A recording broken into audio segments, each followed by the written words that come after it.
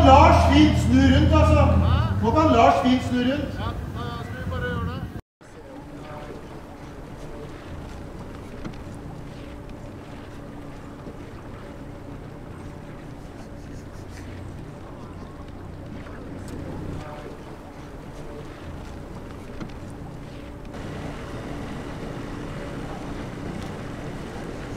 Thank you.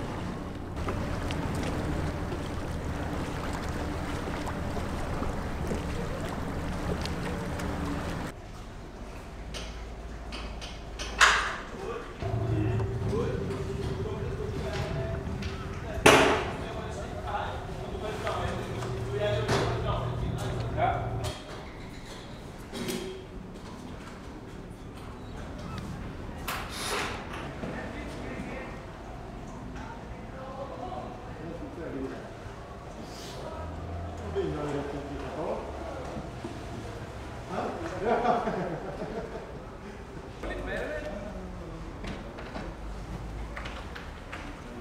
ta den på hjørnet. Ja, skal du synge litt? Hva? Skal du synge litt?